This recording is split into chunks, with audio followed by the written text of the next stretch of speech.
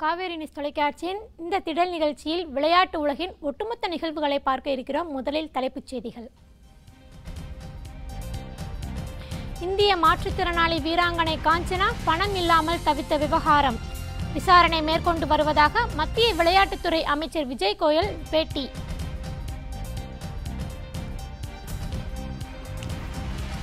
Wimbledon tennis தொடரில் நடப்பு champion Murray நான்காவது சுற்றில் தோல்வி.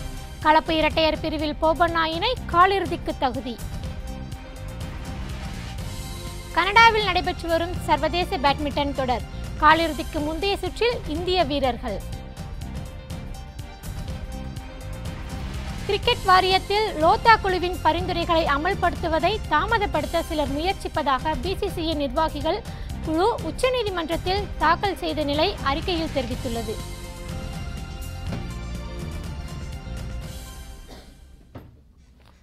ஜெர்மனியில் இந்திய மாற்றுத்திறனாளி வீராங்கனை காஞ்சனா மாலாபாண்டே பணம் இல்லாமல் தவித்த விவகாரம் குறித்து விசாரணை மேற்கொண்டு வருவதாக மத்திய விளையாட்டுத்துறை அமைச்சர் விஜய் கோயல் விளக்கமளித்துள்ளார். இரண்டாயிரத்தி பதினேழாம் ஆண்டுக்கான மாற்றுத்திறனாளிகள் உலக பாராநீச்சல் போட்டி ஜெர்மனியின் பெர்லின் நகரில் அண்மையில் நடைபெற்றது. இதில் இந்திய தரப்பில் ஒரு வீராங்கனை உட்பட ஆறு பேர் கலந்து கொண்டனர். நாக்பூரைச் சேர்ந்த பார்வையிழந்த வீராங்கனை காஞ்சனமாலா பாண்டே கலந்து கொண்டு வெள்ளிப்பதக்கம் வென்றார். இந்நிலையில் ஐந்து லட்சம் ரூபாய் கடன் வாங்கித்தான் இந்த போட்டியில் கலந்து கொண்டதாக அவர் தெரிவித்துள்ளார். உலக பாரா நீச்சல் போட்டியில் பங்கேற்பதற்காக விளையாட்டு ஆணையம் பணம் ஒதுக்கியுள்ளது தெரிய வந்துள்ளது ஆனால் வீரர்களுக்கு பணம் தரப்படவில்லை. இது குறித்து பேசிய பாரா ஒலிம்பிக் கமிட்டி துணைத் தலைவர் குரு சரண் சிங் ஆணையம் சரியான நேரத்தில் நிதி ஒதுக்கவில்லை. இதனால் நீச்சல் வீரர்களுக்கு குறிப்பிட்ட நேரத்தில் பணம் தர முடியவில்லை என்றார். இதற்கு பதிலளித்துள்ள மத்திய விளையாட்டுத்துறை அமைச்சர் விஜய் கோயல் விளையாட்டு ஆணையத்திலிருந்து பணம் கொடுக்கப்பட்டதாகவும் சம்பவம் குறித்து விசாரணை நடத்தப்பட்டு வருவதாகவும் கூறியுள்ளார். இதனிடையே ஒலிம்பிக் நாயகன் அபினவ் பிந்த்ரா தனது ட்விட்டர் பக்கத்தில் இதற்கு யார் பொறுப்பு என்பது குறித்து தெளிவான விசாரணை வேண்டும் என்று பதிவிட்டு அதை பிரதமர் மோடிக்கு அனுப்பியுள்ளார். வீராங்கனைக்கு ஏற்பட்ட இந்த சம்பவம் விளையாட்டு வீரர்களிடையே அதிர்ச்சியை ஏற்படுத்தியுள்ளது.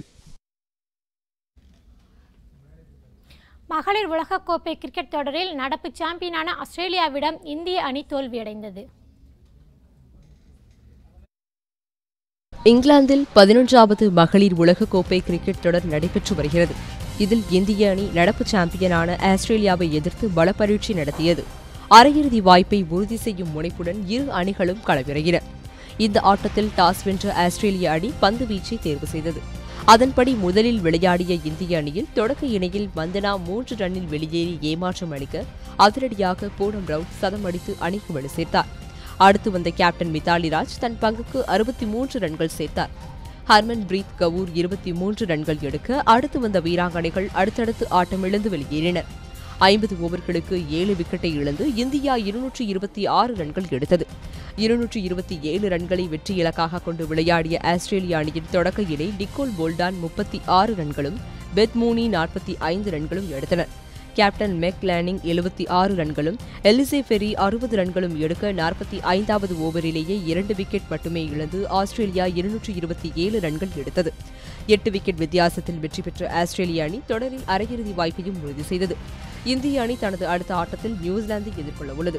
நியூசிலாந்துடன் வெற்றி பெற்றால் மட்டுமே இந்திய அணி அரையிறுதிக்கு முன்னேற முடியும் என்பதால் இந்திய வீராங்கனைகளுக்கு இந்த ஆட்டம் வாழ்வா சாவா என்ற நிலையில் உள்ளது.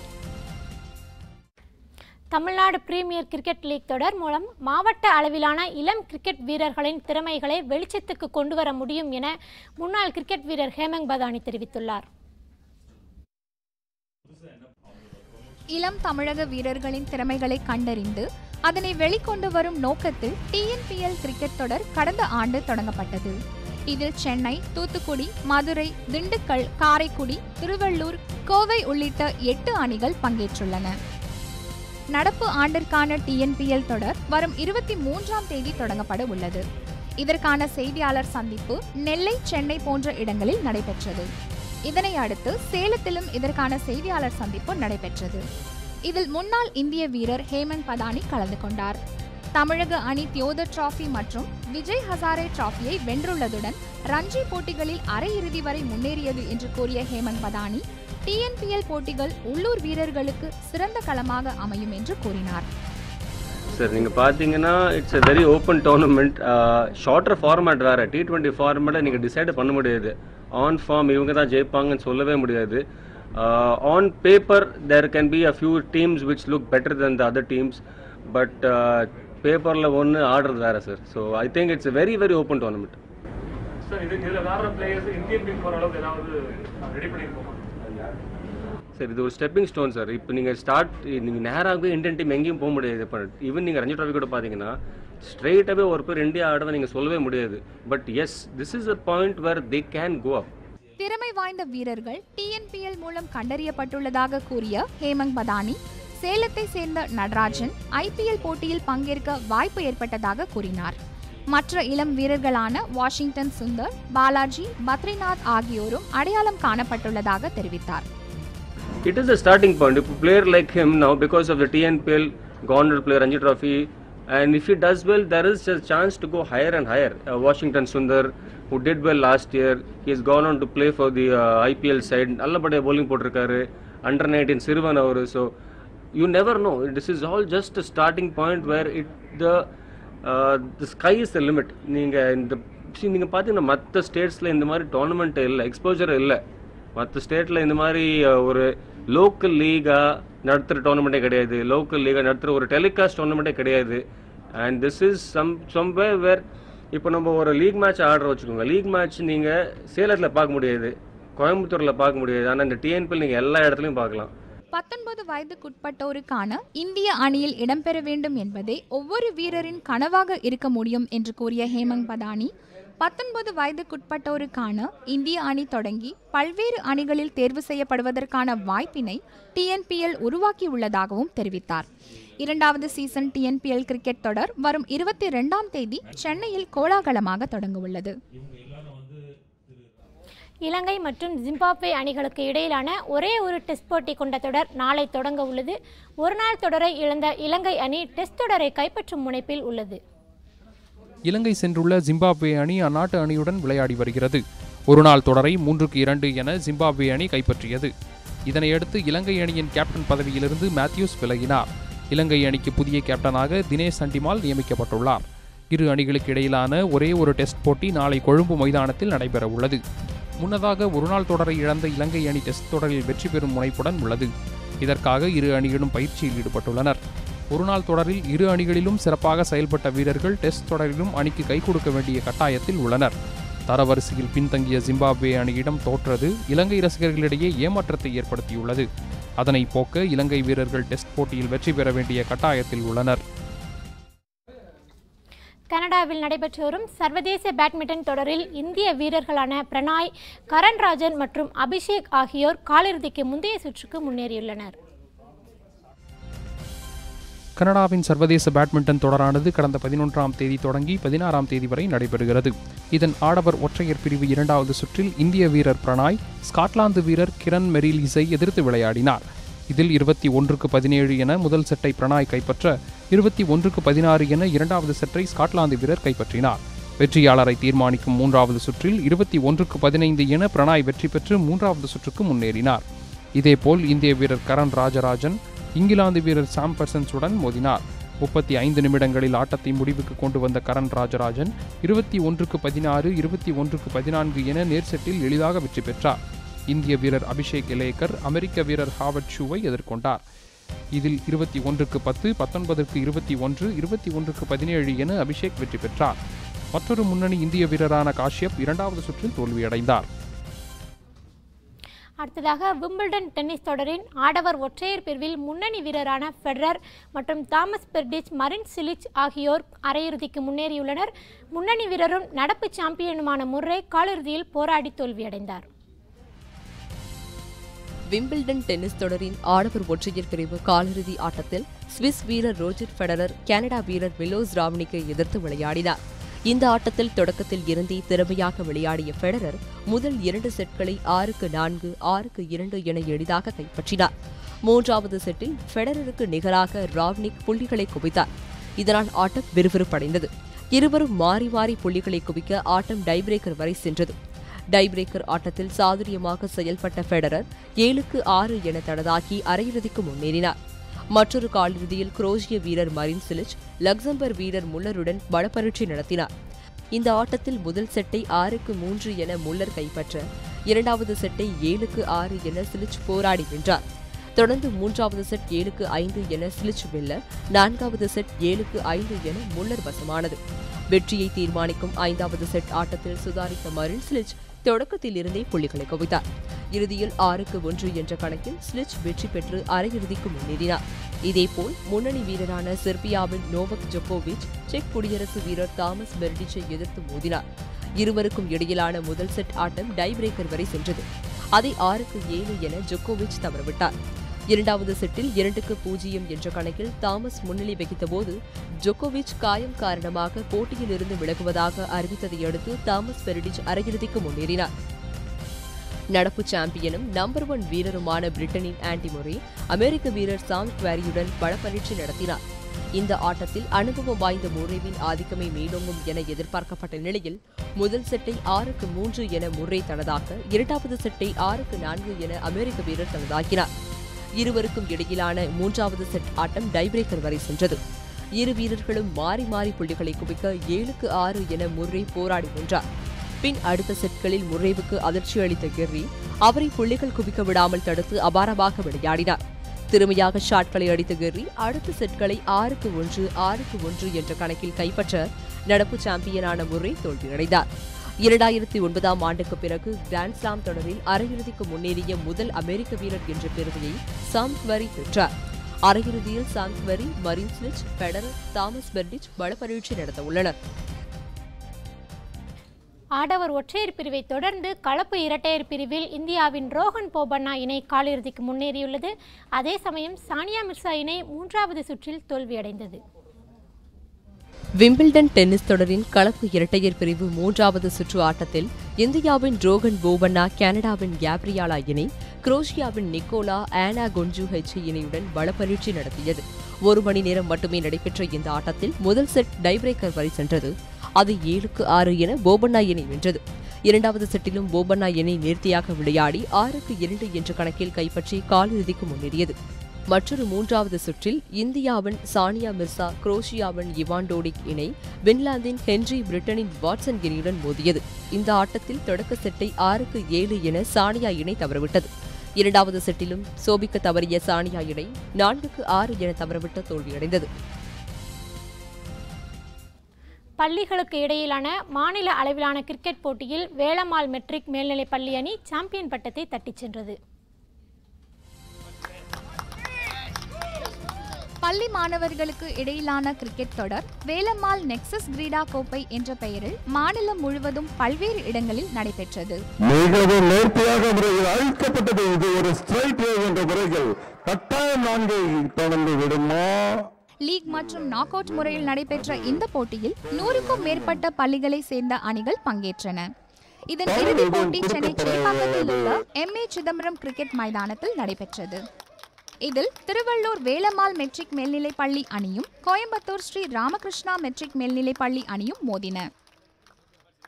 டாஸ் வென்ற வேலம்மாள் பள்ளி அணி முதலில் பேட்டிங் செய்தது. அதன்படி களமிறங்கிய அந்த அணி நிர்ணயிக்கப்பட்ட இருபது ஓவர்கள் முடிவில் எட்டு விக்கெட்களை இழந்து எழுபத்தி ஏழு ரன்கள் எடுத்தது. எழுபத்தி எட்டு ரன்கள் எடுத்தால் வெற்றி என்ற இலக்குடன் ஸ்ரீ ராமகிருஷ்ணா பள்ளி களமிறங்கியது.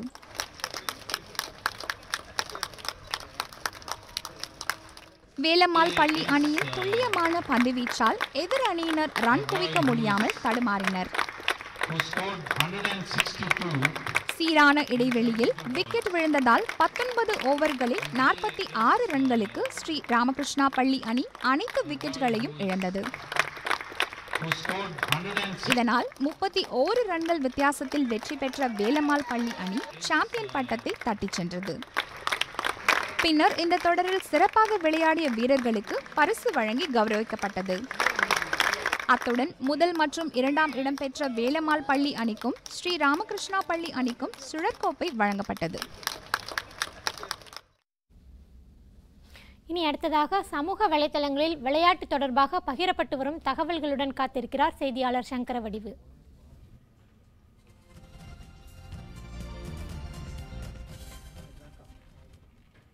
நன்றி. இன்னைக்கு சமூக வலைத்தளங்களில் விளையாட்டு தொடர்பாக எந்த மாதிரியான விஷயங்கள்லாம் ட்ரெண்ட் ஆகிட்டு இருக்குன்னு பார்க்க போகிறோம் முதல் செய்தியாக பார்த்தீங்க அப்படின்னா ஹேஷ்டேக் ஹாக்கி வேலிக் அப்படின்ற ஹேஷ்டேக் வந்து ட்ரெண்ட் ஆகிட்டு இருக்கிறது நேற்றைய ஆட்டத்தில் இந்தியா வந்து சிலியை எதிர்த்து வந்து விளையாண்டாங்க. இந்த ஆட்டத்தில் ஒன்றுக்கு ஜீரோ அப்படின்ற கோல் கணக்கில் வந்து இந்தியா வந்து வெற்றி பெற்றிருக்கிறாங்க. இதற்கு மத்திய விளையாட்டுத்துறை அமைச்சரான விஜய் கோயல் தன்னுடைய வா- ட்விட்டர் பக்கத்தில் வந்து அவங்களுக்கு வந்து வாழ்த்து தெரிவிச்சிருக்காங்க இதுவரைக்கும் வந்து சிறப்பாக விளையாடி இருக்கிறீங்க. ஸோ இனிமே உங்களுடைய ஆட்டங்களையும் வந்து நீங்கள் சிறப்பாக தொடர்ந்து விளையாடுங்க அப்படின்னு சொல்லிட்டு அவங்க வந்து வாழ்த்து தெரிவிச்சிருக்கிறாங்க. இதற்கு அடுத்ததாக அவங்க வந்து நியூசிலாந்து கிட்ட இருந்து மோத இருக்கிறாங்க. இதுல மோதிட்டாங்க அப்படின்னா அவங்க வந்து செமிஃபைனலுக்கு வந்து அவங்க செலக்ட் ஆகி தகுதி பெற்றிருவாங்க அப்படின்றது ஒரு குறிப்பிடத்தகுந்த விஷயம். அடுத்த செய்தியாக பார்த்தீங்க அப்படின்னா ஹேஷ்டாக் விமில்டன் வந்து ரொம்ப நாளாவே ட்ரெண்டிங்ல இருந்துட்டு இருக்கிறது. இதோட இறுதி கட்டத்துக்கு வந்து நம்ம வந்துட்டோம். இதோட செமிஃபைனலுக்கான வீரர்கள் வந்து தகுதி பெற்றிருக்கிறாங்க. இந்த செமிஃபைனல் மேட்ச்ல யாரெல்லாம் வந்து மோத போறா அப்படின்னு சொல்லிட்டு ஒரு பட்டியலை வெளியிட்டிருக்காங்க அதுல வீனஸ் வில்லியம்ஸும் கோனட்டாவும் வந்து விளையாட இருக்கிறாங்க. அது மட்டும் இல்லாம முகுருசாவும் அஹ், ரிபாரிகோவாவும் வந்து விளையாட இருக்கிறாங்க.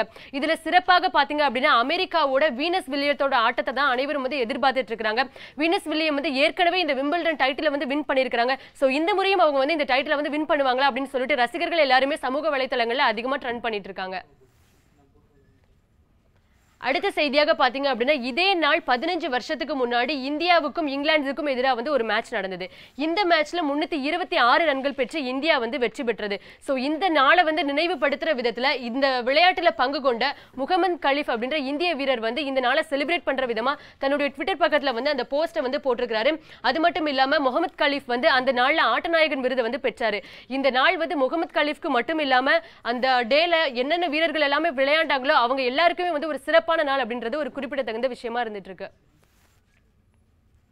அடுத்த செய்தியாக பார்த்தீங்க அப்படின்னா ஐசிசி தங்களுடைய ட்விட்டர் பக்கத்தில் வந்து ஒரு பர்த்டே விஷஸ் வந்து தெரிவிச்சிருக்காங்க யாருன்னு பார்த்தீங்க அப்படின்னா ஃபாஃப்க்கு வந்து இன்னைக்கு பிறந்தநாள் தினம். ஸோ இவருக்கு வந்து இன்னைக்கு வா- வாழ்த்து தெரிவித்து அவங்க வந்து ஒரு பதிவை வெளியிட்டிருக்காங்க அது மட்டும் இல்லாமல் அவர் வந்து இதுவரைக்கும் நூற்றி எண்பத்தி ஒன்பது ஆட்டங்களில் வந்து விளையாடி இருக்கிறாரு இவரோட மொத்த ஸ்கோர் அப்படின்னு பார்த்தீங்க அப்படின்னா ஏழாயிரத்தி எழுநூத்தி இருபத்தி மூன்றாக இருந்துட்டு இருக்கிறது ஸோ இன்னைக்கு இவருடைய புகைப்படங்களை ரசிகர்கள் எல்லாருமே ட்ரெண்ட் பண்ணிட்டு இருக்காங்க அடுத்த செய்தியாக பார்த்தீங்க அப்படின்னா மத்திய விளையாட்டுத்துறை அமைச்சரான விஜய் கோயல் தன்னுடைய ட்விட்டர் பக்கத்தில் ஒரு புகைப்படத்தை வெளியிட்டிருக்கிறாரு. எல்லாருக்குமே தெரிஞ்ச விஷயம் தான் மித்திலிராஜ் வந்து ஆறாயிரம் ரன்களை கடந்து உலக சாதனையை வந்து படைச்சிருக்காங்க இங்கிலாந்து வீரருக்கு எதிராக இவங்க வந்து இந்த சாதனையை வந்து படைச்சிருக்கிறாங்க. ஸோ இந்த புகைப்படத்தை வெளியிட்டு அவங்க வந்து மேலும் வந்து இன்னும் நிறைய சாதனைகள் வந்து புரியணும் அப்படின்னு சொல்லிட்டு அவர் வந்து அவங்களுக்கு வாழ்த்து தெரிவிச்சிருக்காங்க நீங்க இன்னும் வந்து ஷைன் ஆகணும் அப்படின்னு சொல்லிட்டு அவர் ஒரு பதிவையும் வெளியிட்டிருக்காங்க.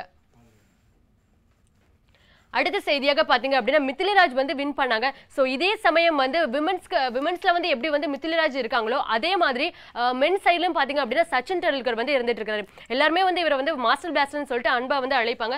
ஸோ அந்த வகையில் சச்சின் டெண்டுல்கரையும் மித்திலராஜையும் வந்து சேர்த்து கம்பேர் பண்ணி எல்லாருமே வந்து பேச ஆரம்பிச்சாங்க.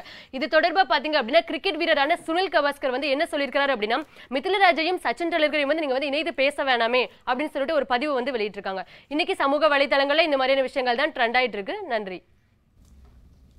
சமூக வலைத்தள பதிவுகளுக்கு நன்றி சங்கர் வடிவு. அடுத்ததாக தொடர்ந்து ஒரு உள்ளூர் செய்தியை பார்க்கலாம்.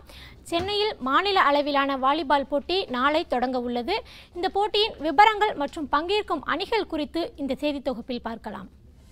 ஆண்டுதோறும் சுந்தரம் நினைவு வாலிபால் கிளப் சார்பில் மாநில அளவிலான வாலிபால் போட்டி சென்னையில் நடத்தப்பட்டு வருகிறது.